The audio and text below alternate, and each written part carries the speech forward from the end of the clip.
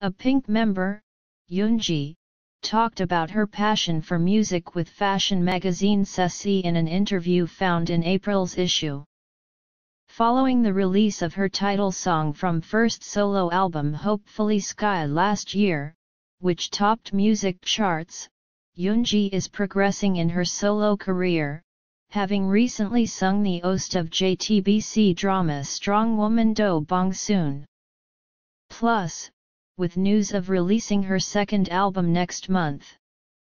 The revealed photos perfectly capture Eunji's essence of purity and enthusiasm.